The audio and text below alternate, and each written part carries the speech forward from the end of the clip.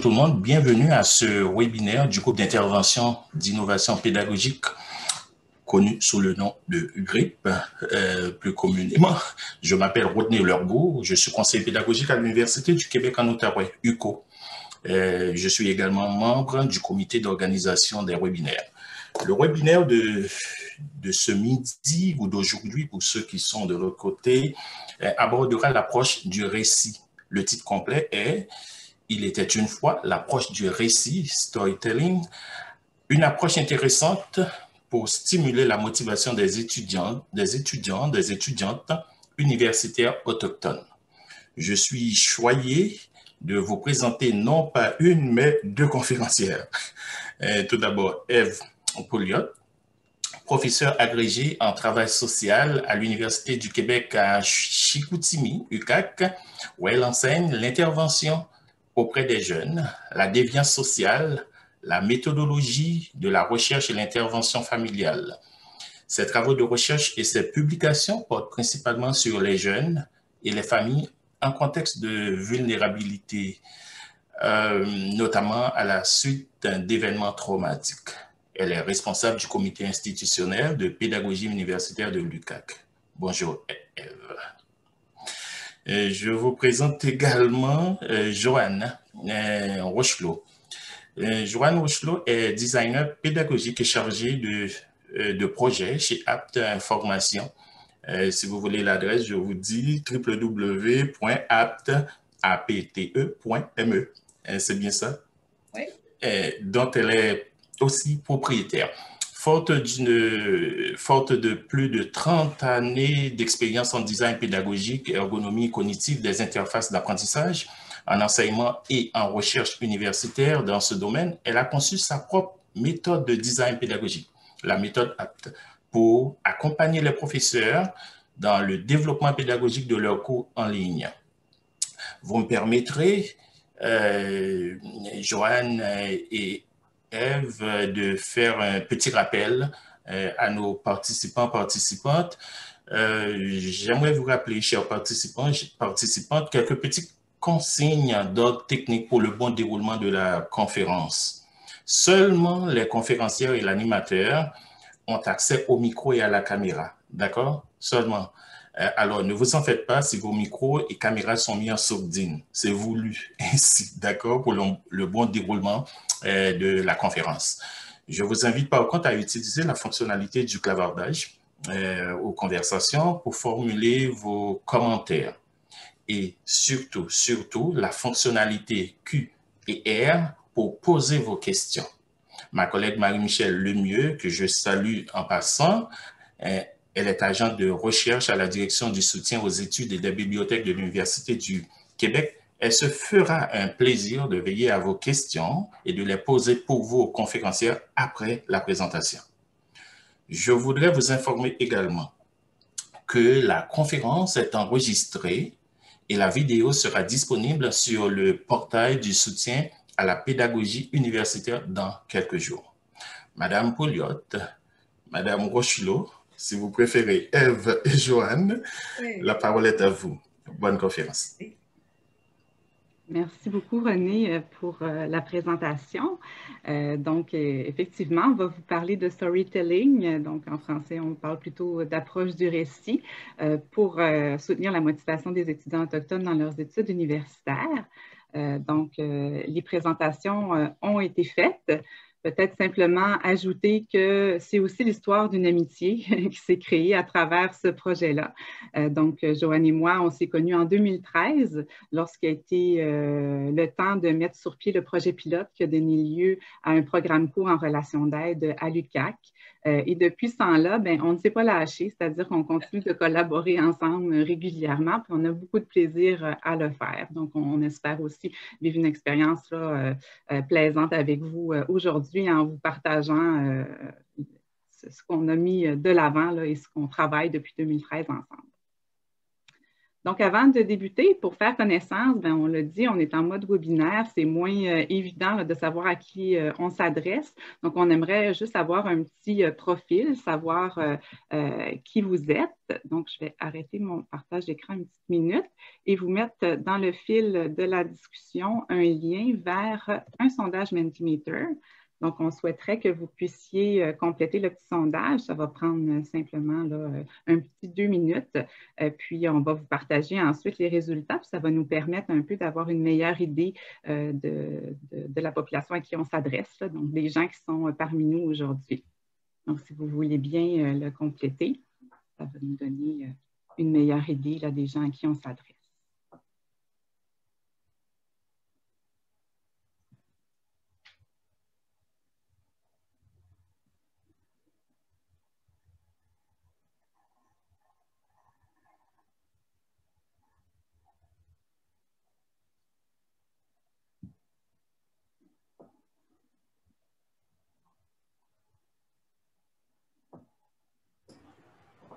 Eve, il semble qu'il y a certaines personnes qui ne voient pas le lien. Oh, attendez. Pour le sondage. Je remets. Est-ce que vous le voyez maintenant? Ah, c'est tous les panélistes, pardon. J'étais, euh, excusez-moi, tous les panélistes et participants. Ça va être mieux. voilà.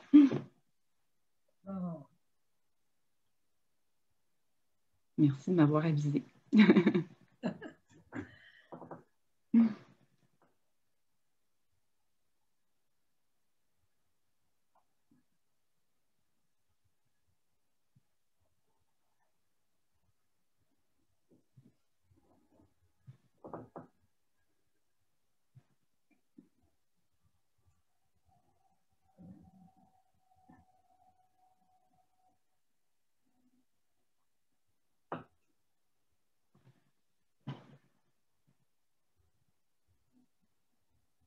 J'attends juste une petite minute. Je vois qu'il y a encore des choses qui rentrent. Puis on va regarder ça ensemble.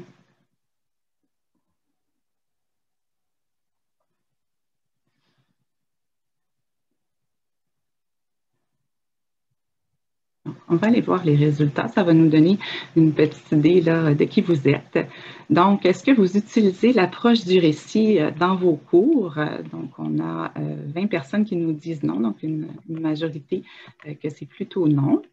Est-ce que vous racontez des histoires ou des anecdotes dans vos cours? Donc, il y en a quand même plusieurs que la réponse est oui ou parfois, même rarement. donc, en fait, vous utilisez probablement l'approche du récit, mais sans le savoir ou sans en être pleinement conscient. C'était mon cas il n'y a pas si longtemps. Euh, quel est votre statut? Donc, on a plusieurs professeurs, chargés de cours, conseillers pédagogiques et euh, quelques assistants de cours ou des étudiants. Et euh, finalement, dans quelle discipline vous enseignez, si vous enseignez? Donc, beaucoup de gens en travail social, psychoéducation, administration publique, management. Donc, OK, ben, c'est super, c'est intéressant. Nous, ça nous donne une petite idée, en fait, à qui on s'adresse aujourd'hui. Euh, donc, on pourra y revenir aussi là tout à l'heure. Donc, je reviens au PowerPoint et on commence la présentation à proprement parler. Donc, la présentation d'aujourd'hui, va se décliner en quatre grandes sections. Euh, tout d'abord, je vais vous parler euh, du contexte et des enjeux associés à l'approche du récit, puis au programme, dans le fond, qui a été mis de l'avant à partir notamment de cette approche-là. Ensuite, euh, Joanne va vous parler euh, du récit dans l'enseignement, mais aussi euh, du récit comme stratégie d'apprentissage. Et finalement, en conclusion, on va donner un peu la voix à nos étudiants, aux étudiants des Premières Nations qui ont participé au cours qu'on a monté pour un peu identifier ce qu'ils ont particulièrement apprécié. Puis on aura une période de questions et d'échanges avec vous. Donc, c'est ce qu'on vous propose pour aujourd'hui. Donc, au niveau du contexte et des enjeux, euh, en fait, c'est une expérience qui a débuté en 2013, comme je l'ai mentionné tout à l'heure. Donc, euh, à l'Université du Québec à Chicoutimi, on a le Centre des Premières Nations Nikenté euh, qui s'occupe beaucoup euh, des étudiants des Premières Nations et ils ressentaient, en fait, les étudiants avaient exprimé un besoin d'avoir un programme court en relation d'aide. En fait, c'est des étudiants qui souhaitaient demeurer dans leur communauté, mais d'être suffisamment outillés pour venir en aide aux gens qui sont dans leur communauté. Euh, et bon, ils percevaient certaines difficultés psychosociales et ils se disaient on aimerait ça être outillé sans avoir à sortir de nos communautés pour aller étudier, euh, pour intervenir auprès de ces gens-là qui font partie de notre communauté. Donc, c'est comme ça que l'idée d'un programme court de premier cycle en relation d'aide est née. Euh, et avant, en fait, que Joanne et moi, on soit interpellés, il y avait des tentatives qui avaient été essayé, plutôt des tentatives qui avaient été faites euh, pour mettre de l'avant ce programme-là et ça avait été très difficile. En fait, très rapidement, les étudiants se démobilisaient, se démotivaient et ne poursuivaient pas leur formation. Donc, c'est dans ce cadre-là que Joanne a d'abord été interpellée comme designer pédagogique euh, et moi, ben, pour le premier cours qui devait être développé, le cours de déviance sociale et dépendance, euh, qui est un cours qui s'offre à la fois là, au baccalauréat, mais aussi au certificat euh, en travail social à l'UCAC. Donc, c'est un cours que je donnais déjà en présentiel. Donc, le programme comme tel était composé de cinq cours, donc deux cours en travail social qui étaient tous les deux euh, mes cours, donc le cours de déviance sociale, mais aussi le cours d'intervention sociale auprès des enfants et des adolescents.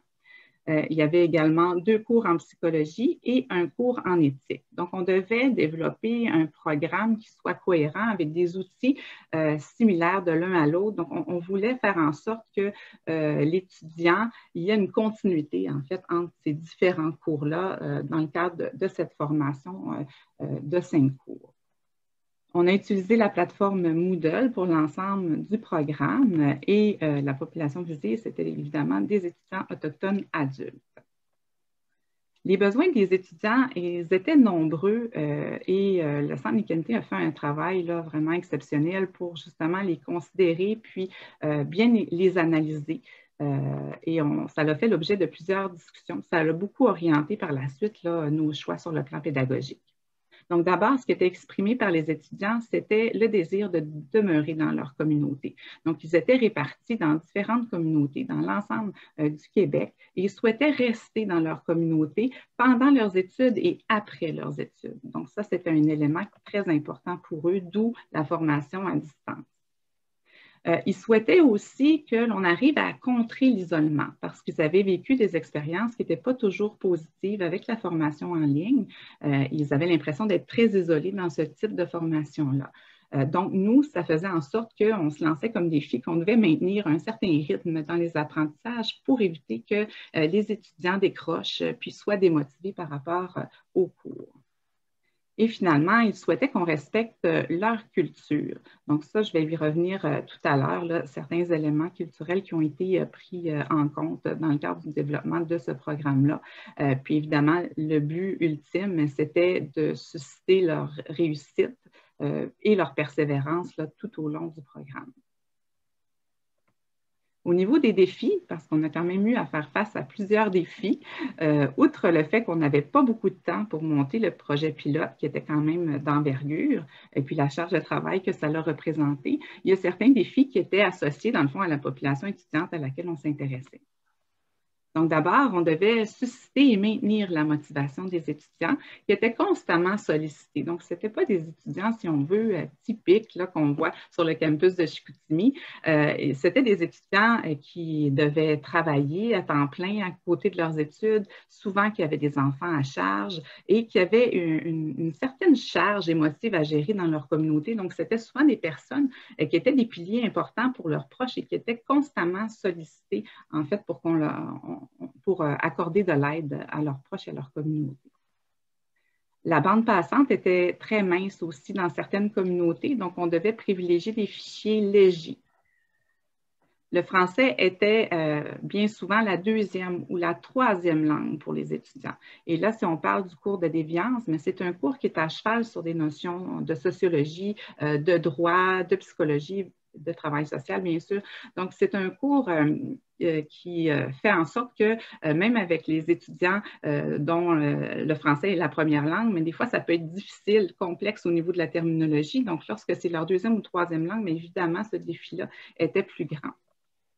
Euh, et les étudiants n'étaient pas tous familiers avec les technologies. Je vous dirais même qu'il y en a qui partaient de très, très loin euh, au plan des technologies. Euh, donc, pour développer un cours en ligne, mais évidemment, on viendra avec moi que c'est quand même un enjeu de taille. Tout devait aussi se retrouver sur l'Internet, c'est-à-dire que nos étudiants ne pouvaient pas se déplacer pour aller à la bibliothèque de l'université. Donc, on devait faire en sorte que tout le matériel pédagogique se retrouve sur Moodle. Donc, l'enjeu du programme, favoriser la réussite et la persévérance scolaire des étudiants autochtones qui étaient répartis géographiquement dans leurs différentes communautés. Je vais laisser céder la parole à Joanne pour la suite. D'accord. Alors, est-ce qu'il y en a parmi vous qui avez entendu parler de Oliver Sacks et du livre L'homme qui prenait sa femme pour un chapeau? Euh, est-ce que ça, fonctionne, euh, OK, c'est beau. Je me demandais si euh, l'image allait, s'afficher. Alors, je ne vous raconterai pas toute l'histoire, puis je sais que vous ne pouvez pas me répondre. merci, Eve, pour ce que tu as présenté. Alors, L'homme qui prenait sa femme pour un chapeau d'Oliver Sacks, c'est un, je dirais que Oliver Sacks, pour moi, c'est un peu le père du storytelling. Puis je ne vous parlerai pas de toute sa vie puis de tout ce qu'il a fait, mais je vais vous dire que c'est un neurologue qui enseignait dans une université à New York et qui était aussi euh, donc euh, professeur à l'université de Columbus et qui était aussi un médecin dans un médecin neurologue dans un hôpital. Et quand il enseignait euh, en neurologie, au lieu de parler de ses euh, patients avec une description clinique, tu sais, euh, femme, 21 ans, atteinte de telle chose, au lieu de, fonctionner comme ça, il, il racontait à ses euh, qu'est-ce que la personne ressentait, qu'est-ce que cette patiente-là était? C'était une madame une telle, il la nommait, euh, il, présentait des informations qui étaient à caractère personnel sur cette personne-là, puis les émotions que cette personne-là ressentait pour vrai. Alors, puis, il y avait beaucoup, beaucoup de succès euh, euh, avec ses étudiants, si bien que beaucoup de ses collègues lui disaient, disaient euh, parlaient de lui en disant il ferait mieux de faire de la recherche plutôt que de compter des histoires. Mais bon. Alors, donc, c'est un peu le père du storytelling et il y a une très belle image dans le livre L'homme qui prenait sa femme pour un chapeau qui a changé de couverture maintenant. Là. Alors, dans ce livre-là, il décrit le, cerveau comme un tapis.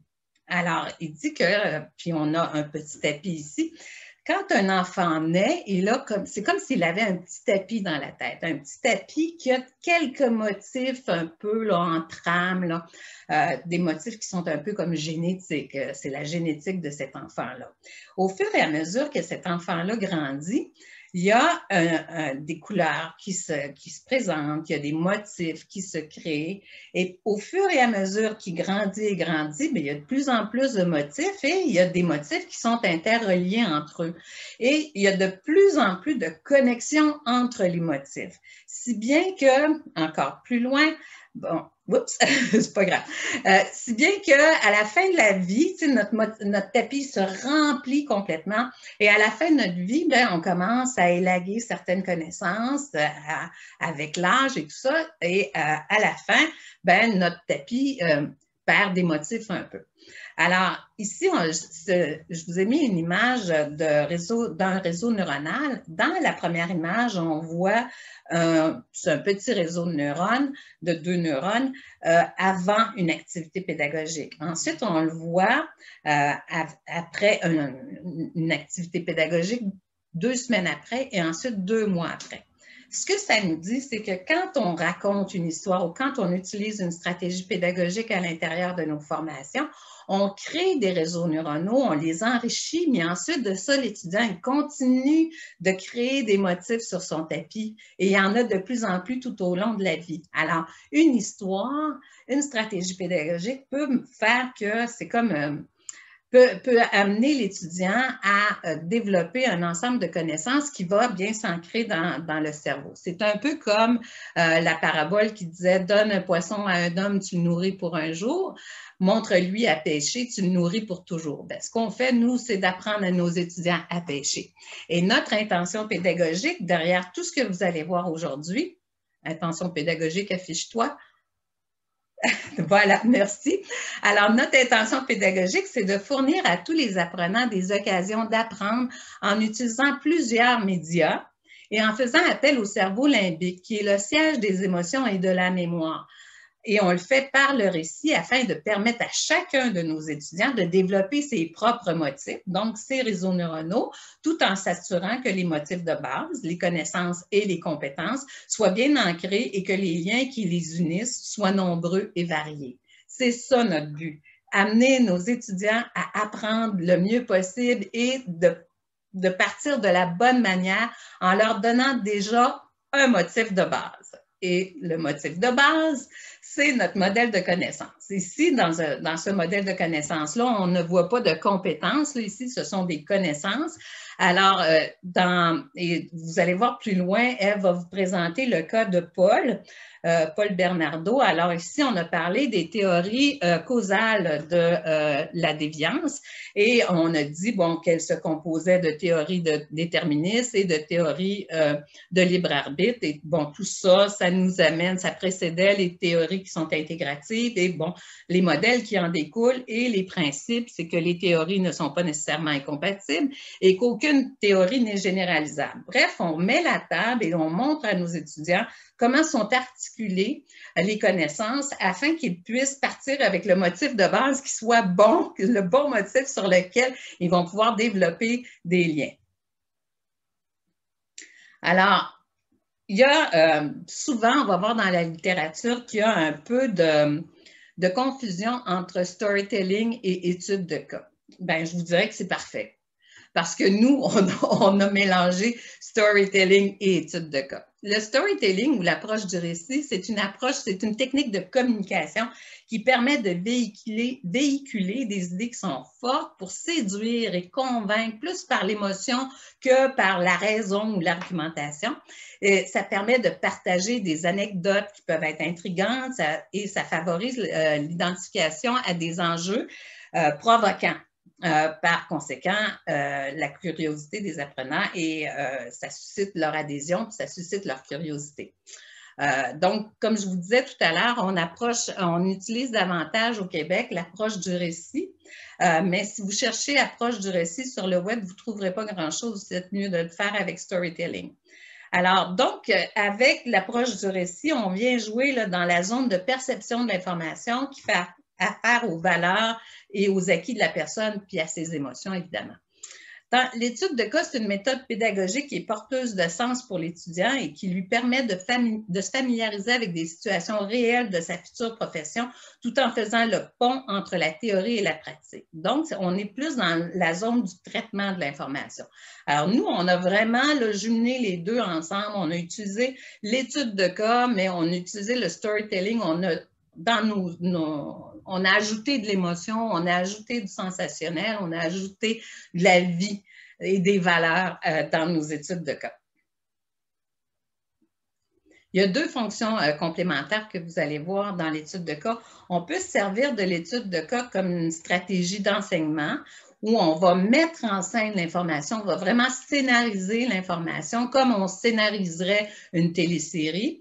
Euh, donc, on la, scénarise en utilisant l'approche du récit et on a l'étude de cas qui est une stratégie d'apprentissage où c'est l'étudiant qui réalise lui-même son étude, qui va créer son récit pour développer ses propres compétences. Dans notre approche à nous, pour euh, le programme qu'on a, qu'on a développé à l'UCAC, on a utilisé l'étude de cas comme stratégie d'enseignement. Donc, on va vous parler davantage de ça aujourd'hui. Alors, il y a des fonctions qui sont complémentaires, évidemment. Quand on sert de la stratégie d'enseignement, de l'étude de cas comme stratégie d'enseignement, on met en scène des contenus pour optimiser le traitement cognitif. On veut vraiment là, que euh, le travail dans la mémoire à court terme se fasse bien et que l'information passe rapidement dans la mémoire à long terme. Et on veut aussi contextualiser l'information dans le temps et dans l'espace. Euh, donc, on va souvent utiliser euh, d'autres stratégies parallèles comme la cognition située, là, où on va utiliser une métaphore. Alors, ce qu'on veut aussi, c'est, euh, dans notre cas à nous, on a aussi ajouté des techniques de divertissement, de edutainment. Là. Donc, on a utilisé des techniques comme on voit la télévision ou que les humoristes vont utiliser pour marquer l'imaginaire. Alors, jumelé à une stratégie pédagogique, les études de cas visent à, proposer une solution pour venir en aide aux personnages du récit. Et dans tous les cas, pour chacun des cours que Eve euh, a donné, un personnage, il y avait un personnage par cours et euh, parcours de trois heures. Là, je ne parle pas d'activité universitaire complète, mais euh, parcours de trois heures et nos étudiants étaient mis dans une position de professionnel où ils devaient venir en aide à la personne, euh, au personnage qui était à l'étude euh, dans ce cours-là. Comme stratégie d'apprentissage, euh, c'est sûr que l'étudiant, il, va non seulement développer des connaissances par rapport au cas qu'il va traiter, mais il va aussi développer pardon, excusez-moi, des compétences générales en éducation aux médias, en culture générale, puis en littératie numérique, parce qu'il va utiliser des outils numériques à sa disposition pour euh, élaborer euh, ces, histoires, puis il va développer des compétences spécifiques dans son domaine d'études de données. Alors, je vous présente ici les huit étapes de Robin qu'on a euh, traduit pour les besoins aujourd'hui pour les deux fonctions. Donc, ça reste la même chose. Premièrement, on trouve une idée, on rédige une proposition. Ensuite, on recherche et on explore pour apprendre. Euh, on euh, écrit, on résume, on fait un synopsis. Ensuite, on fait le scénarimage, c'est le storyboard euh, qu'on utilise en anglais. Donc, on fait un scénarimage et ensuite, on, on, crée des images, on trouve des images, on crée du matériel audio où on le trouve, de la vidéo aussi, on assemble, on partage et on rétroagit. Là, ça a l'air comme ça, là, on fait une boucle comme ça, mais ce n'est pas ça la vraie vie. La vraie vie, c'est qu'on va trouver une idée, on va dire Ah, j'ai cette image-là, on va ensuite aller rechercher, on va assembler, on va défaire, on va refaire. Bref, il y a beaucoup, beaucoup d'allers-retours entre les étapes avant d'arriver à un produit final. Et euh, on avait une collaboration, Eve et moi, là, euh, où on était toutes les deux à rechercher des choses et à, à traiter l'information de façon à faire des récits qui soient vraiment palpitants pour nos étudiants. Alors, l'étape 4, le scénarimage ou le storyboard, c'est qu'on utilise des principes des théories cognitivistes de l'apprentissage et de l'ergonomie cognitive pour favoriser le traitement de l'information.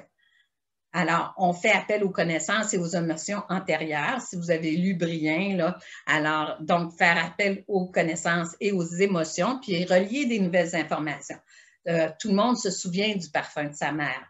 Euh, si je vous parle au Québec, tout le monde se souvient de la tragédie du lac Mécantique. Alors, quand on fait appel à des, à des événements ou à des notions qui sont connues, déjà, on a un ancrage, on vient ancrer ces connaissances-là dans les cerveaux de nos, nos étudiants on vient aussi susciter l'émotion. On va tabler sur les valeurs de la clientèle, bon, l'éthique, la justice sociale. On va aussi utiliser euh, des éléments d'information et des personnages et des lieux, donc de conditions situées, en fournissant des outils de traitement de l'information. Là, ce n'est pas pour rien que je vous ai mis tout le texte de, à l'écran, c'est qu'on va vous partager euh, notre, euh, notre présentation PowerPoint ensuite. Alors, si je ne vous l'avais pas écrit, vous ne l'auriez pas euh, dans, dans, le texte. Euh, Ce n'est pas parce que je veux me souvenir. Euh, aussi, ayez recours au sensationnalisme. Euh, des, titres scandaleux, des éléments discordants, ça va permettre à, votre étudiant de focuser son attention ou ça va le déstabiliser de sorte qu'il va vouloir se restabiliser avec les nouvelles connaissances. Raconter des anecdotes, utiliser des affaires qui n'ont pas d'allure. Un cheval bleu, là, il n'y a personne qui reste indifférent à un cheval bleu. créer des rapprochements, donc des ponts avec l'actualité ou avec des événements connus. Euh, utiliser divers médias faisant appel à plusieurs sens. Puis ça, c'est super important parce que si vous utilisez la voix, plus l'image, plus la vidéo ou, des mots qui apparaissent à l'écran, plus vous utilisez des canaux sensoriels qui sont différents, plus il va y avoir de traces dans le cerveau. Donc, votre motif, là, il va être plus interrelié, puis il va être encore plus riche et plus beau sur votre tapis. Formater l'information pour attirer euh, l'attention sur les notions importantes. Ça, c'est sûr que si vous mettez des mots à l'écran en gros, ben, ça va être plus important que si vous avez un texte comme je suis en train de faire là. Faites pas ce que je fais. Et forcer la, lecture linéaire. Vous savez que depuis qu'on a des appareils électroniques, et surtout pour notre génération milléniaux, euh, les écrans ont beaucoup changé euh, plusieurs fonctions, en tout cas dans, dans notre cerveau, euh, en tout cas, ils ont alterné altéré ou euh, développé autrement. En tout cas, ça a changé un peu nos structures, de sorte qu'avec les, les, ordinateurs et les tablettes et iPhone et tout, les étudiants sont habitués de, de surfer sur les titres, puis euh, de passer, puis de, de, de glaner l'information plutôt que de la lire vraiment. Mais quand on glane l'information, on n'apprend pas. Ça ne vient pas s'inscrire dans le cerveau. Il faut vraiment qu'un étudiant lise le texte et se l'approprie pour développer sa connaissance, puis ensuite ancrer sa compétence sur ce qu'il a lu et ce qu'il a appris. Donc, c'est super important. Puis imposer un rythme, euh, c'est aussi important parce que nos étudiants n'ont pas une durée de l'attention qui est bien, bien longue. Hein. Ce qu'on appelle le attention span, là, auparavant, ben, c'était 20 minutes. Maintenant, on est en bas du 4 minutes. Là.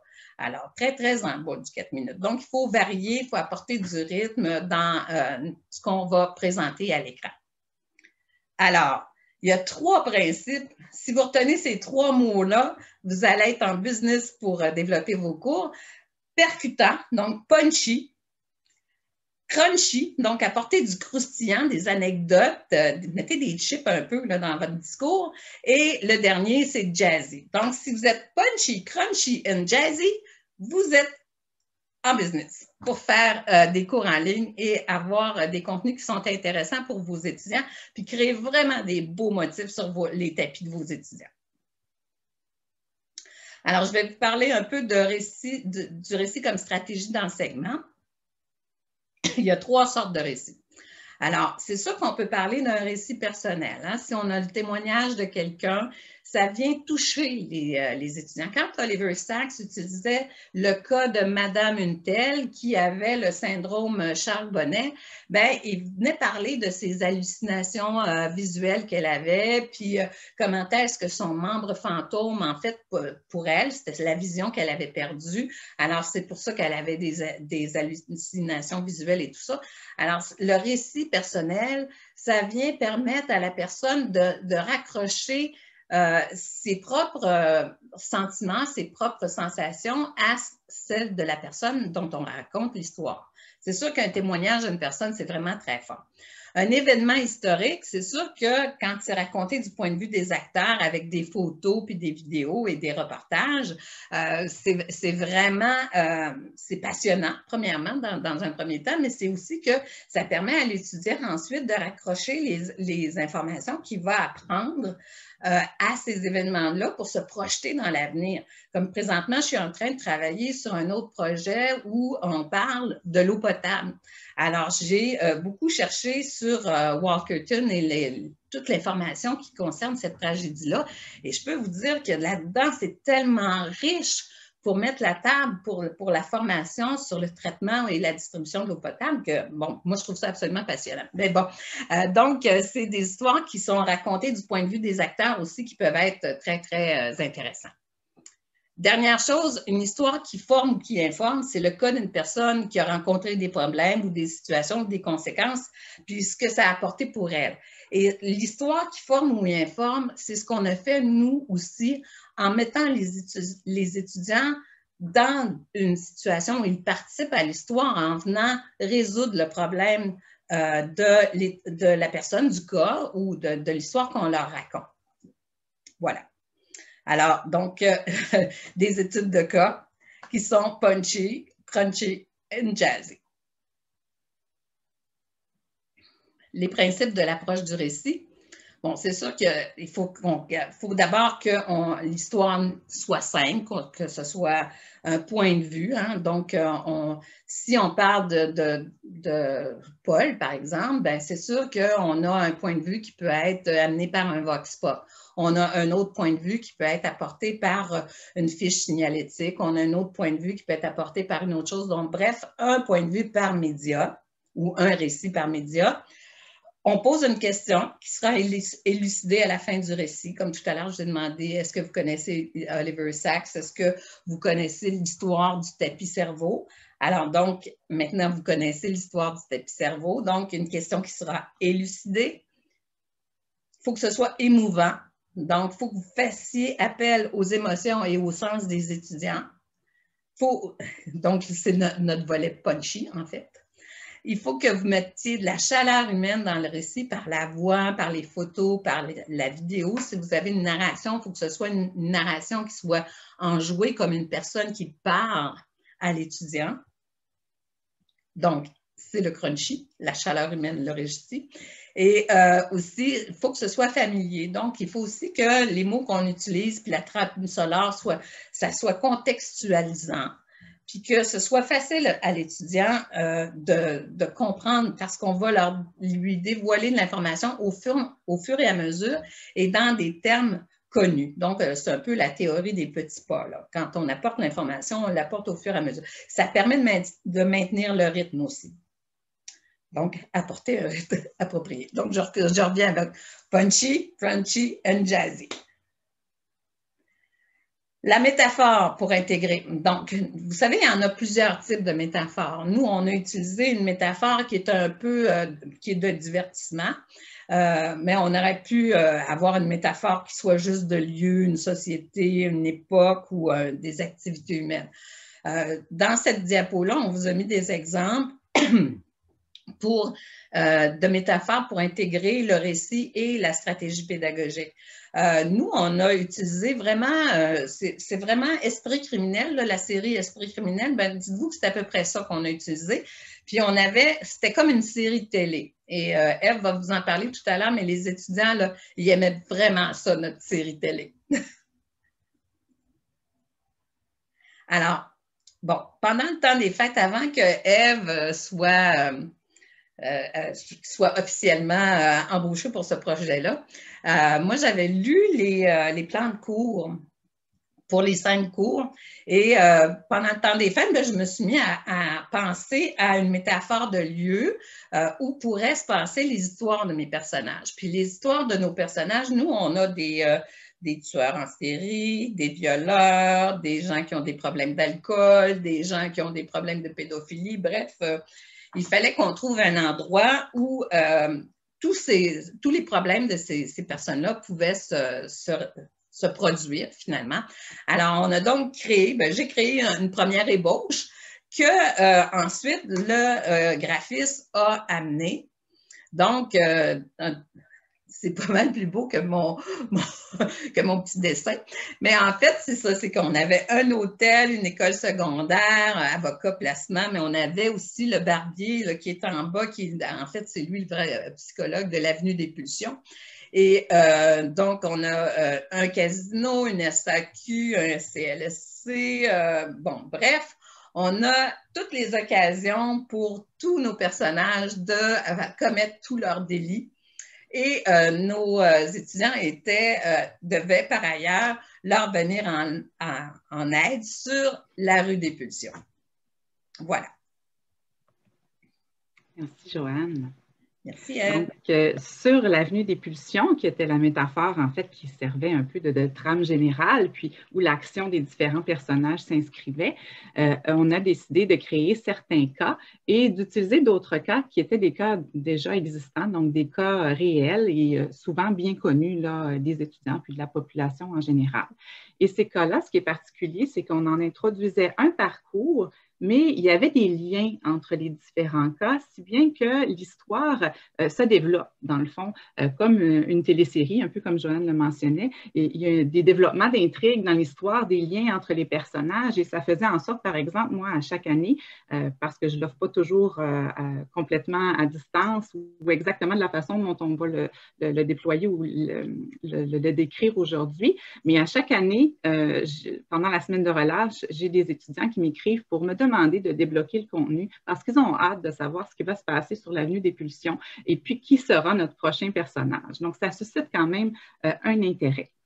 Euh, au niveau des cas réels, vous avez euh, les personnages ici. on a Piccolo, donc Piccolo qui est un itinérant qui était très connu sur le plateau Mont-Royal, donc qui est mort malheureusement là, en 2013, donc il s'est suicidé. avec lui, ben, on voit l'introduction, dans le fond, aux notions de base en contexte de déviance. Donc, ça nous permet de démêler toutes sortes de terminologies liées à la déviance sociale. Ensuite, on a Paul Bernardo, euh, donc qu'on utilise pour explorer les théories explicatives euh, de la déviance et de la délinquance.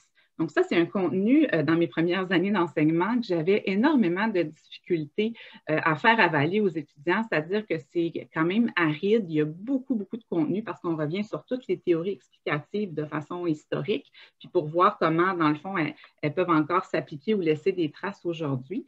Euh, ben, avec, le, cas de Paul, avec ce récit-là, ça aide beaucoup les étudiants et ça suscite beaucoup leur intérêt. Parce qu'avant, ils me disaient, je ne comprends pas pourquoi on apprend ça, qu'est-ce que ça va me donner dans l'intervention. Euh, et maintenant, ils comprennent beaucoup mieux la portée que ça peut avoir. Donc, euh, euh, Paul Bernardo, célèbre violeur en série, qui a violé 43 femmes, qui a fait trois meurtres, mais on part de cette histoire-là pour dire aux étudiants, c'est fou quand même, cet individu, cet individu-là qui était instruit, qui était beau, qui avait tout pour lui, en est quand même venu à ces comportements-là, à ces actes-là. Donc, comment peut-on l'expliquer? Euh, et en partant de cette interrogation-là, mais là, s'intéresser aux théories explicatives, ça devient passionnant soudainement.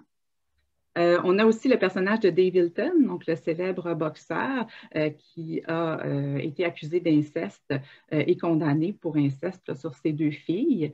donc, avec lui, on voyait un peu le processus d'intervention en travail social. Euh, on a également le cas de Guy Cloutier, donc le célèbre impresario. Dans ce cours-là, on parlait euh, d'agression sexuelle euh, et on avait ben, d'autres personnages qu'on pouvait récupérer des récits précédents, des cours précédents, donc notamment Paul et Dave Hilton. Jean-Paul Gerbet est aussi un personnage qui est réel, donc qui a réellement existé, qui a tué sa conjointe au début des années 2000, Cathy Caretta. Donc, dans ce cours, on parle de violence conjugale, mais aussi d'homicide. Et le dernier cas euh, réel, c'est celui de Nathalie Simard. Donc, on, a une place aussi pour les victimes dans le cadre du cours, donc des victimes d'actes criminels, dans ce cas-ci spécifiquement euh, d'agression sexuelle. Les autres cas sont des cas euh, fictifs, mais souvent inspirés de plusieurs cas réels. Donc, par exemple, le cas de Liz Burton ou le cas de Courtney Bean ben, sont fortement inspirés d'Elizabeth Taylor ou de Courtney Love. Euh, donc, euh, ces personnages-là nous permettent de nous, euh, de, nous informer à propos des dépendances aux substances. avec David et Ben, on parle de conduite addictive et Maria et Anita sont des personnages utilisés pour faire le lien. Dans le fond, à la fin, il y a un bloc où on fait le lien entre ces différents contenu, là, à la fois déviance, délinquance et dépendance, euh, en parlant des impacts que ça peut avoir sur les proches. Donc, Maria, elle a un syndrome d'alcoolisation fétale euh, et Anita a des problèmes de, à la fois de consommation, mais de délinquance. Donc, ce sont nos personnages et ces personnages-là, dans mon cours d'intervention sociale auprès des enfants et des adolescents, on leur a fait des petits, c'est-à-dire que l'histoire se continue dans le deuxième cours où il est plutôt question des enfants des personnages initiaux. Donc, on a créé des enfants, le seul cas réel étant celui d'Aurore, l'enfant martyr, qui est bien connu au Québec. Euh, donc, l'histoire se, poursuit. Euh, et ça, permet aux étudiants de faire des liens avec ce qu'ils ont vu dans le cours précédent et de voir, par exemple, que David, qui est un, homme qui a des problèmes de jeu, bien, ça a un impact dans sa relation avec sa conjointe Judith. Ils vont se séparer et ça va entraîner des conflits sévères de séparation qui vont avoir des impacts sur la vie de Mathéo et Sophia. Donc, ça nous permet vraiment d'avoir une vision qui est beaucoup plus globale et de faire des liens, dans le fond, entre les différents contenus d'un cours à l'autre. Donc ici, on vous a mis l'organisation pédagogique du cours, donc un peu à quoi ça ressemble sur Moodle. Euh, chacun des cours euh, se décline toujours de la même façon, ce qui est très rassurant pour les étudiants. Ils savent à quoi s'attendre d'une semaine à l'autre. C'est toujours la même séquence là, qui est suivie. Donc, d'abord, on a un volet développer vos connaissances. Donc, on amène euh, ce volet-là avec une vidéo de présentation. Donc, maintenant, j'utilise Powtoon pour faire les vidéos euh, avec des images et, des vidéos libres de droit. Euh, et je fais un petit montage pour intéresser l'étudiant en deux, trois minutes, là, essayer de lui vendre le contenu de mon cours, puis en quoi ça va être intéressant pour lui de suivre ce cours-là. Ensuite, il y a une consigne qui explique clairement à l'étudiant ce qui est attendu de lui pendant la semaine, donc ce qu'il doit faire, ce qu'il doit lire, euh, les activités qu'il doit faire avant la rencontre synchrone. On a par la suite une synthèse des contenus qui est en deux formats, donc une synthèse de contenu en format vidéo euh, où euh, on a d'une part un texte qui apparaît à l'écran et qui est narré euh, donc, on entend la voix de la personne qui récite le texte. Et à droite, au fur et à mesure que le texte est narré, on voit apparaître des cartes conceptuelles, un peu comme Joanne vous a montré tout à l'heure, euh, et aussi des images qui viennent un peu euh, rythmer la présentation. Et dans ces synthèses de contenu-là, ben, on fait le lien, dans le fond, entre l'histoire du personnage et les concepts, les, les éléments théoriques associés au contenu de cours pour chacun des cours, euh, on a aussi des textes qui sont complémentaires, qui sont contenus euh, dans le journal Pulsion, qui est euh, un journal un peu créé sous forme de blog dans WordPress. et dans ce journal-là, on a principalement deux types de textes. Donc, on a d'abord des mythes et réalités. on a créé un personnage qui s'appelle Richard Groslot, qui est un homme qui est un, genre apprenti journaliste, euh, qui fait des vox pop sur l'avenue des pulsions. Donc, il va interroger les gens en lien avec des thématiques et souvent avec des titres très sensationnalistes. Donc, par exemple, est-ce que les itinérants sont tous des malades mentaux? Et là, on a vraiment euh, les gens qui réagissent à ça sur l'avenue des pulsions et qui vont souvent avoir des propos qui reflètent énormément de mythes et de préjugés qui sont présents dans la société. Donc, ça permet aux étudiants de s'interroger sur ces mythes-là, de les identifier. Et on a aussi des documents qui sont des pour en savoir plus. Donc, on n'a pas toujours le temps d'aborder tous les sujets qu'on souhaiterait aborder dans un cours. Donc, ça permet d'aller plus loin sur certaines notions pour ceux qui sont intéressés à, développer davantage leurs connaissances. Euh, pour chacun des cours, on s'est dit, on, s'adressait, on, l'a mentionné, aux étudiants des Premières Nations à prime abord. Euh, donc, euh, assez rapidement, on s'est dit qu'on devait créer un glossaire parce que certains termes étaient très complexes. Donc, ce glossaire-là, ben, à travers le cours, euh, lorsque l'étudiant voit un mot un peu compliqué, mais habituellement, il est euh, d'une autre couleur, il est en Bourgogne, euh, et il peut cliquer dessus pour se référer au glossaire où il a la définition de ce terme-là. Et on a différentes activités qu'on utilise d'un cours à l'autre, soit des mots croisés, des bonhommes pendus ou des activités, par exemple, d'appariement avec H5P. Donc, ça nous permet de créer des petites activités qui facilitent pour l'étudiant l'intégration des différents concepts. À chaque semaine, euh, dans le volet que je donnais auprès des, étudiants autochtones, on faisait euh, une rencontre en format synchrone. Donc, à, ce moment-là, on utilisait la plateforme Adobe Connect. Maintenant, j'utilise la plateforme Zoom quand je le fais. Euh, et à ce moment-là, mais les étudiants avaient déjà à réfléchir à l'histoire de cas individuellement. Et là, on les plaçait en petits groupes pour qu'ils puissent y réfléchir en, en petits groupes et ensuite revenir en plénière. Donc, on utilise à ce moment-là différents euh, outils de collaboration, euh, par exemple Padlet ou Jamboard euh, pendant ces séances-là. Puis, ça facilite aussi le retour en plénière sur ce que les différentes équipes ont identifié comme solution souvent pour le personnage. il y a aussi des activités que l'on utilisait là, via le forum de discussion entre les séances. Et finalement, le volet fait la synthèse de vos apprentissages, mais on, intervenait à deux niveaux, c'est-à-dire qu'on demandait aux étudiants euh, de faire une réflexion sur leurs apprentissages. Donc, qu'est-ce qui a été utile ou moins utile? Comment ils ont appris? Quelles stratégies ils ont utilisées pour apprendre? Euh, et qu'est-ce qui a fonctionné ou moins bien fonctionné à cet égard-là? Et on leur demandait aussi de remplir un journal de bord, c'est-à-dire des questions synthèses en lien avec les contenus qui étaient vus euh, tant en format synchrone qu'asynchrone. Après chaque bloc de cours, donc je vous ai mentionné tout à l'heure, il y avait quatre grands blocs. On avait aussi un document qui s'appelait Les pendules à l'heure autochtone. Donc, vous avez vu sur l'avenue des Pulsions, on n'est pas dans une communauté euh, autochtone, on est dans un milieu urbain fictif. vous avez vu que nos, nos, personnages, ce ne sont pas des personnages autochtones, sauf un seul que je ne vous ai pas présenté, qui est Samouili, qui est un personnage qui a réellement existé et qui est, qui, est, qui est, utilisé dans le fond comme cas final, cas synthèse à la fin du cours. Euh, mais on voulait quand même faire un clin d'œil aux communautés euh, dans le cadre des cours. Donc, à la fin de chaque bloc, ben, on s'intéressait à des phénomènes, mais euh, en regardant ça sous l'angle un peu ou sous des défis ou des réalités qui étaient plus propres aux, aux, étudiants, mais aux autochtones. et ça permettait de réfléchir ou de critiquer ces phénomènes-là. Donc, ici, par exemple, il était question de la surreprésentation des autochtones dans les milieux carcéraux. Et chacun de ces documents-là commençait avec un poème de Joséphine Bacon. Donc, Joanne l'a mentionné tantôt, on utilisait dans le fond euh, plusieurs types de récits euh, qui étaient euh, initiés par plusieurs types de, de, matériaux, si on veut, plusieurs points de vue qui s'exprimaient à travers plusieurs récits différents avec plusieurs types de médias. Euh, donc, d'abord, pour introduire le cours, je vous l'ai mentionné, vous, avez une capture d'écran un peu de la vidéo euh, que j'utilisais pour introduire le cours euh, de Paul Bernardo.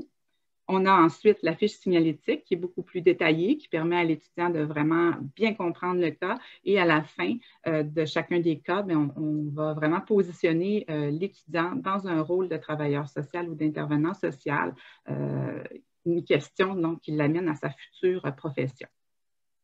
Euh, on a aussi les synthèses de contenu. Donc, ce que je vous expliquais tout à l'heure, ben, ça ressemble à ça. Donc, ici, dans les théories causales avec Paul Bernardo, ben, on voyait le, cycle de la conduite déviante et plus spécifiquement délinquante dans ce cas-ci. Euh, et on l'expliquait, on expliquait les éléments théoriques. Hum, puis ensuite, on faisait le lien, dans le fond, pour chacune de ces étapes-là avec la situation de Paul Bernardo.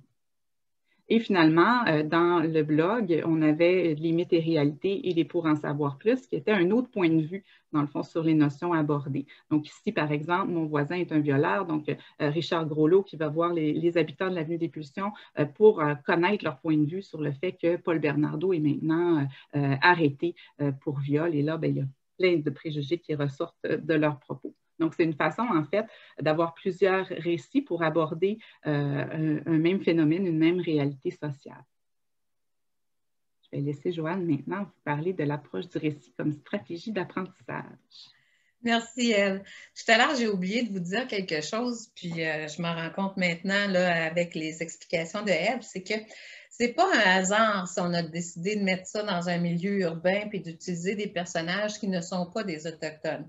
C'est parce que quand on parle de déviance, de dépendance puis de délinquance, on voulait pas associer ces cas-là à des personnes autochtones. Euh, ça arrive dans tous les milieux qu'il y ait de la déviance, de la dépendance et de la, délinquance. Alors, donc, euh, c'était le but, là, c'était vraiment d'avoir un, recul par rapport à ce qu'eux vivaient dans leur communauté. Petite information que j'ai oublié de vous donner tout à l'heure. Euh, une stratégie d'apprentissage percutante, c'est qu'on vous a parlé, nous, de comment on l'avait utilisé pour, comme stratégie d'enseignement, mais que si vous faites comme stratégie d'apprentissage, vous allez vous rendre compte que l'étudiant va développer une panoplie de compétences différentes. Euh, bon, premièrement, en recherche, hein, parce que pour documenter un cas, pour trouver de l'information, ben, il faut qu'il fasse de la recherche. Euh, ensuite, ils vont avoir de la rédaction. Il faut qu'il formule son point de vue. L'organisation, il faut qu'il gère son temps, il faut qu'il élabore son cas puis qu'il le présente. Donc, euh, gérer son temps, ses activités et les documents qui viennent avec l'élaboration d'un cas ou d'un récit.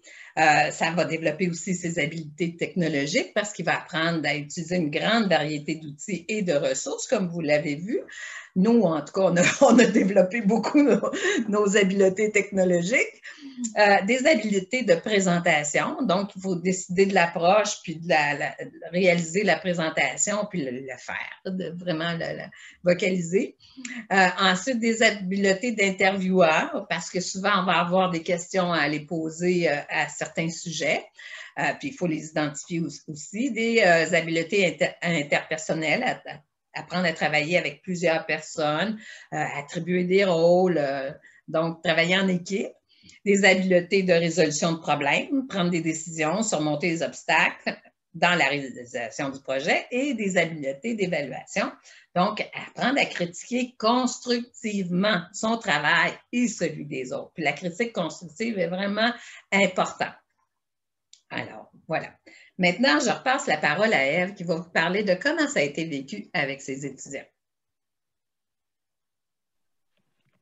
Oui, donc euh, en fait, comment ça a été vécu? Ça a été très bien vécu, euh, mhm. cette première expérience-là, si bien que j'ai décidé de réitérer l'expérience avec le, second cours et je me suis rendu compte assez rapidement euh, que le storytelling avec les, les, étudiants des Premières Nations, c'était une formule assez gagnante. Notamment parce que c'est une approche qui est axée sur la transmission orale. Et on sait que chez les Premières Nations, c'est un modèle de transmission qui est plus dominant. Donc, ça, ça fonctionnait bien, en fait, avec eux. Ils se retrouvaient dans ce type d'approche-là et ils me le mentionnaient beaucoup. Euh, ensuite, on a utilisé des cas principalement allochtones, comme Joanne l'a mentionné tantôt, mais c'était pour prendre une distance. Donc, pour pas que les étudiants aient l'impression qu'on est toujours en train d'associer les problèmes euh, qui étaient abordés dans le cadre du cours euh, aux communautés autochtones. Donc, ça, c'est un élément important, mais on s'est quand même questionné à savoir au départ si on allait utiliser une communauté ou pas. Et finalement, on a pris cette décision-là. Et je pense que c'était une bonne décision là, avec du recul.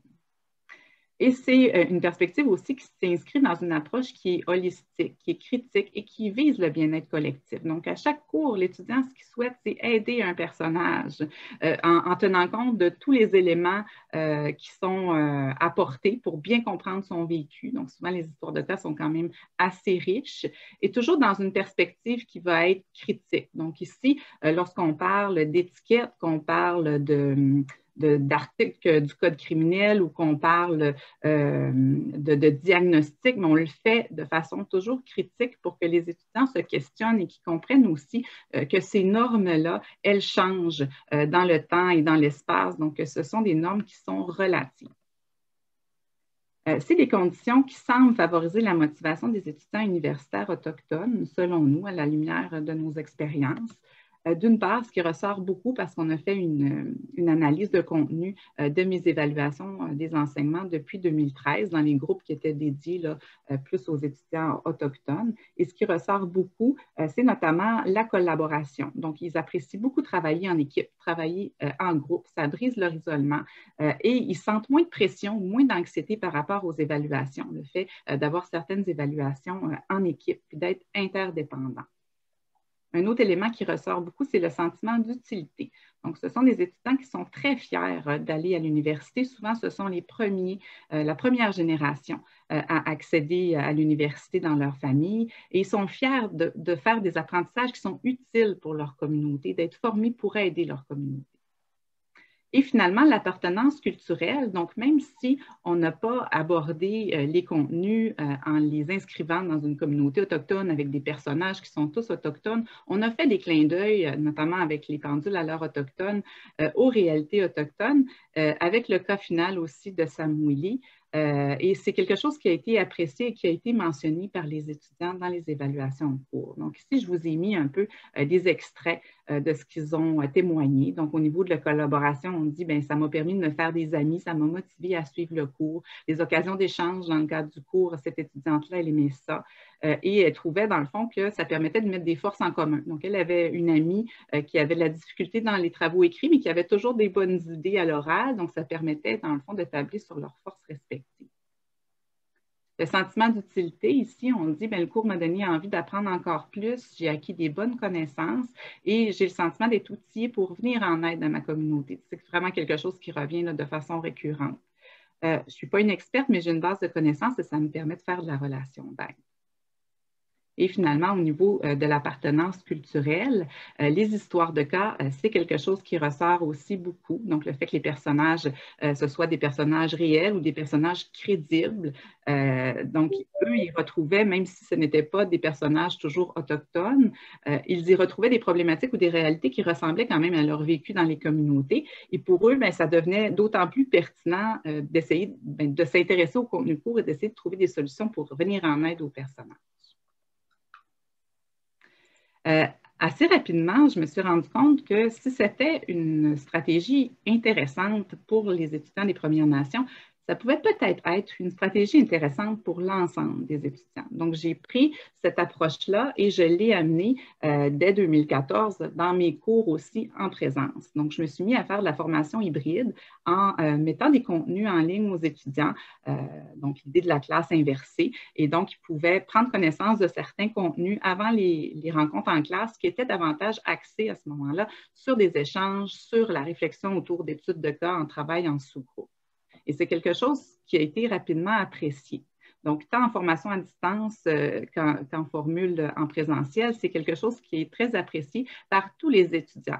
Euh, dans mes évaluations de cours, par exemple, j'ai des étudiants qui vont me dire euh, Eve, mon TDA adore ton cours. Euh, euh, donc, pour les étudiants, par exemple, qui sont en situation de handicap, c'est vraiment souvent quelque chose qui revient, qui est récurrent dans les commentaires. Ils vont me dire le fait d'avoir plusieurs façons d'apprendre, d'entendre, de voir, euh, de collaborer. donc, tout ça facilite grandement leurs apprentissages.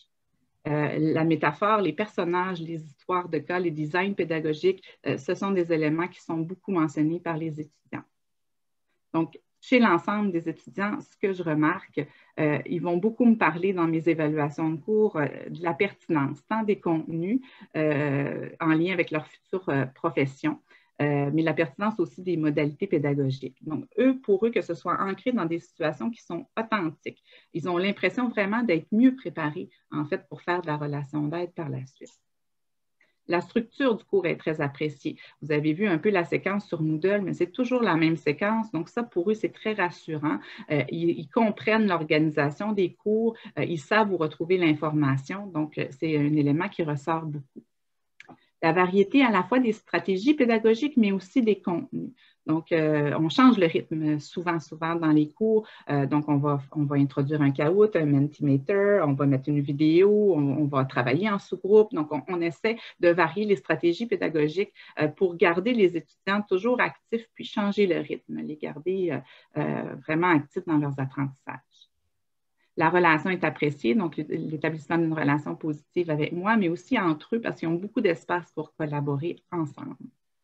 Les rétroactions, vous avez vu qu'à chaque semaine, ils ont des activités à faire en ligne et je fais une rétroaction régulière de ces activités-là, ce qui fait en sorte que pour les plus anxieux, mais c'est rassurant, ils savent où ils se situent dans leurs apprentissages euh, et les évaluations euh, plus formelles ou les évaluations sommatives, mais ressemblent à ce qu'ils font. Donc, ils se préparent tout au long de la session, dans le fond, pour ces évaluations qui sont sommatives. Et je vous dirais, par exemple, dans le contexte de la pandémie, j'ai quand même eu l'occasion d'enseigner plusieurs cours depuis le mois de mars dernier.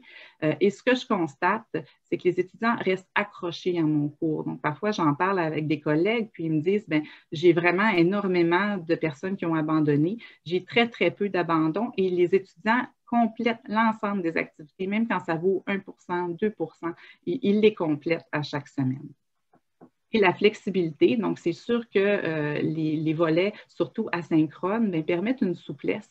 Euh, donc, quand les étudiants ont toute la semaine pour réaliser les activités, bien, ça fait en sorte qu'ils peuvent euh, aussi prévoir les choses en fonction de, de, leur responsabilité professionnelle ou familiale. Donc, souvent, c'est quelque chose aussi qui est très apprécié de la part des étudiants. Donc, on serait rendu à une période d'échange et de questions.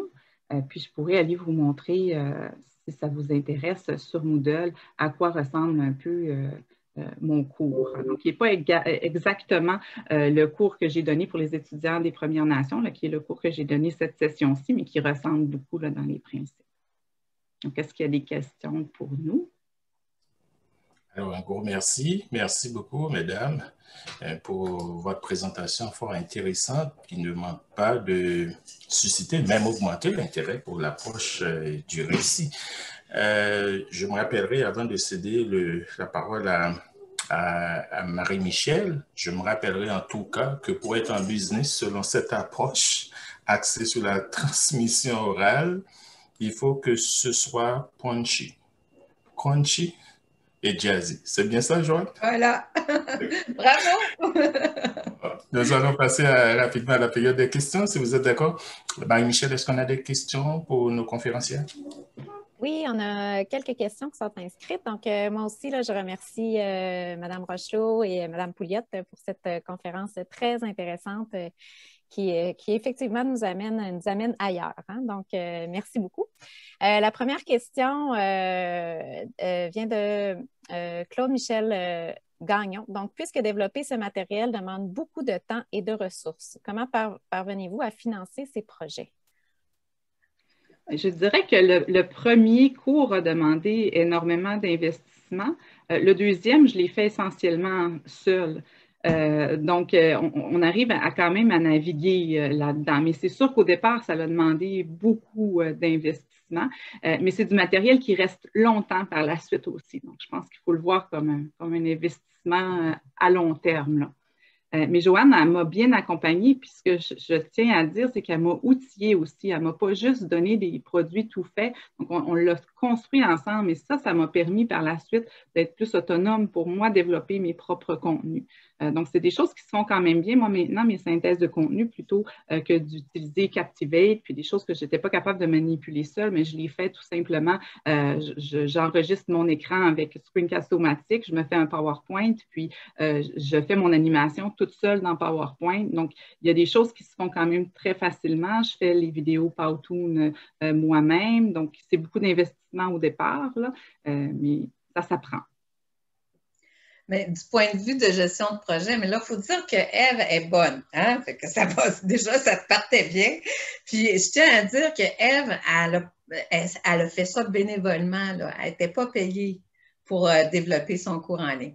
Moi, j'ai été engagée comme designer pédagogique pour les cinq profs.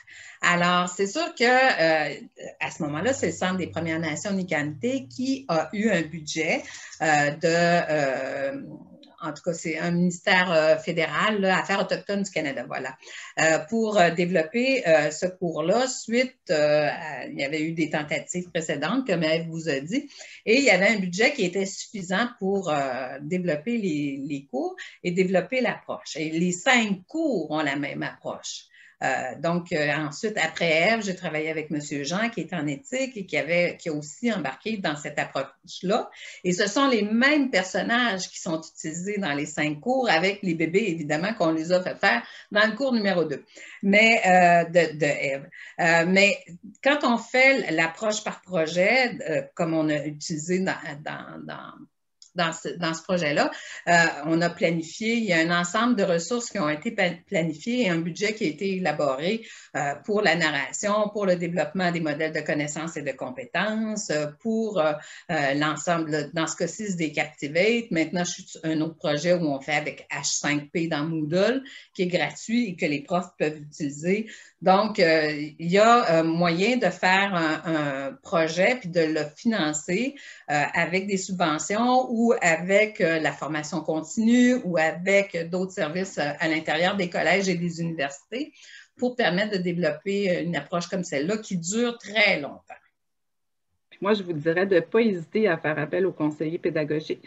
moi, avant mon expérience avec Joanne, je me disais, euh, pourquoi j'ai besoin d'une designer pédagogique? Ça va bien dans mes cours, euh, j'enseigne bien, j'ai des bonnes compétences, je pense, là-dedans. Les étudiants apprécient mes cours, euh, mais ça m'a amené complètement ailleurs dans mon enseignement. Donc, c'est bien des fois d'être déstabilisé, puis de, confronter nos, nos, stratégies pédagogiques, puis ça amène du changement. Moi, je l'ai vécu vraiment de façon très, très positive.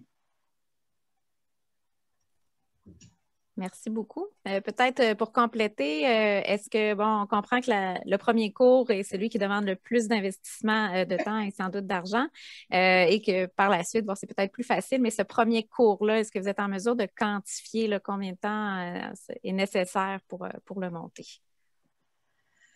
Et eh, mon Dieu, ça nous a pris huit mois. C'est sûr qu'on ne travaillait pas à temps plein là-dessus, mais ça a pris huit mois quand même pour développer le premier cours. Euh, un cours de 45 heures, c'est sûr que je dirais que ça prend minimalement 16 heures pour une heure.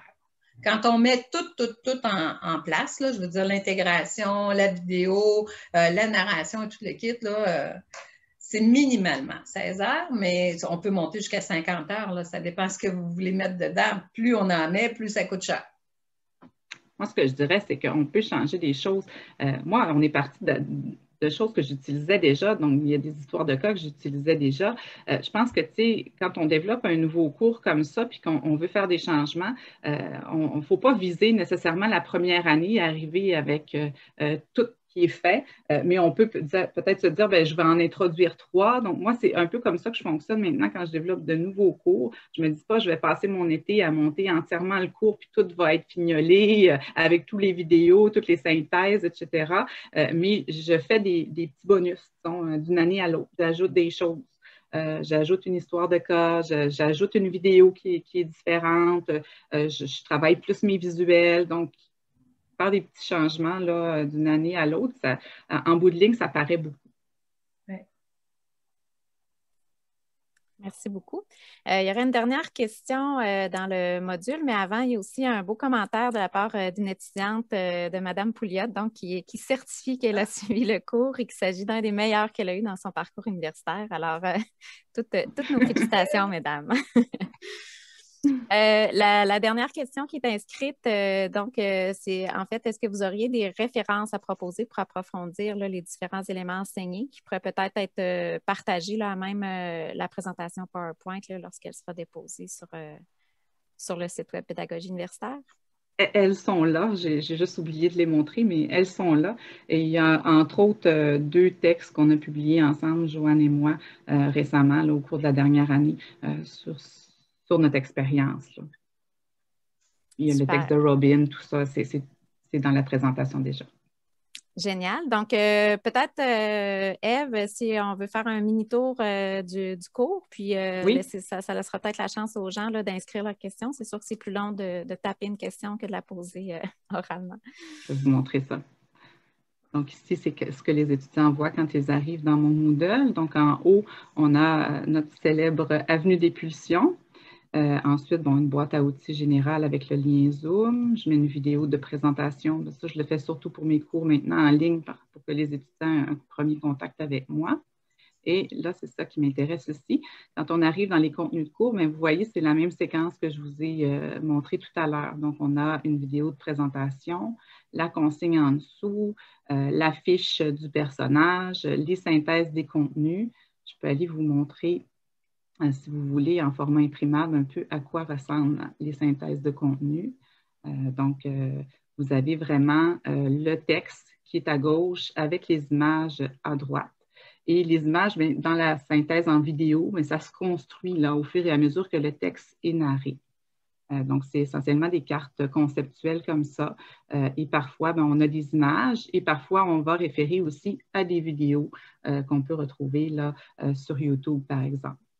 Donc, ça vous euh, donne une idée un peu euh, de ce à quoi ça, peut ressembler, euh, ce à quoi les, étudiants ont accès sur Moodle.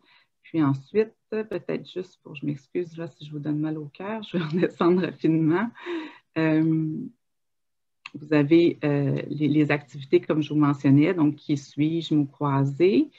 et si on va voir le journal Pulsion, je peux vous montrer un peu à quoi ça ressemble. Donc, pour chacun des cours, les étudiants euh, vont avoir des textes à lire. Donc, ici, vous avez des textes pour le cours 1. Donc, euh, on voit comprendre l'itinérance du point de vue de plusieurs acteurs, donc là, on va avoir des, vidéos complémentaires pour mieux connaître Piccolo, par exemple. Donc ça, c'est un pour en savoir plus. Donc, ce n'est pas obligatoire, euh, mais moi, je, vois l'historique des clics, puis euh, les étudiants vont vraiment les voir, les, ressources supplémentaires. Euh, donc, on, met des éléments qui permettent de mieux connaître le personnage. Parfois, c'est mieux connaître certaines notions théoriques. on avait une chanson ici de Bernard Adamus qui parle de Piccolo, des, des, reportages. Et ensuite, on va aller recueillir, dans le fond, le point de vue euh, des passants sur l'avenue des Pulsions avec euh, notre célèbre euh, collaborateur spécial Richard Groslot. Donc, il pose une question. Est-ce que vous pensez qu'il y a plus d'itinérants qu'avant? Et là, on a vraiment les gens qui, qui, répondent toutes sortes de choses avec un vocabulaire très coloré. Ça, c'est Joanne qui a fait ça, puis elle a vraiment beaucoup de talent pour raconter des anecdotes. donc, ça ressemble un petit peu là, à ça là, au niveau de la plateforme. Donc, à, à quoi ça ressemble concrètement. Je voulais un peu vous montrer à quoi ça correspond. Merci beaucoup. Il n'y a pas d'autres questions euh, qui sont inscrites euh, dans le module. Ben, merci à vous. Merci beaucoup. Alors, au nom, au nom du comité des webinaires du GRIP, merci encore aux deux conférencières, Joanne Rochelot et Poliot, pour cette belle conférence. Et merci à tous les participants et participantes euh, de votre présence et